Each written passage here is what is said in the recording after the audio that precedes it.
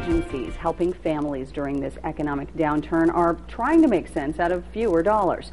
And even though Ohio's budget is a step closer to being approved, some fear there is still not enough time, rather, for things to get worse. Tiffany Tarpley's on the scene in downtown Toledo with what is going on. Lucas County Job and Family Services says the economic slump has really put a strain on what they do. They've had to make their own cuts. Right now, Lucas County Job and Family Services has a bare bones staff despite an increased caseload due to high unemployment numbers. Today, the director of the agency, Deb Ortiz Flores, and Ohio Representative Peter Ujvagi came together to talk about what's going on in the state capitol.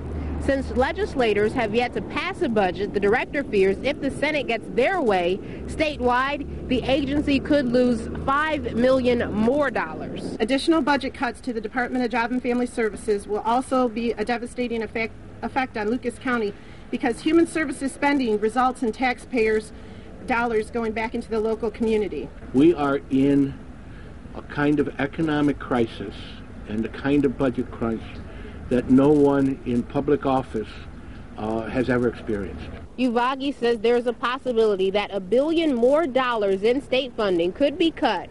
He says currently the strain is already deep and painful, and it's time legislators stop extending the deadline and go ahead and pass a budget. Reporting on the scene in downtown Toledo, Tiffany Tarpley, Fox Toledo News, first at 4.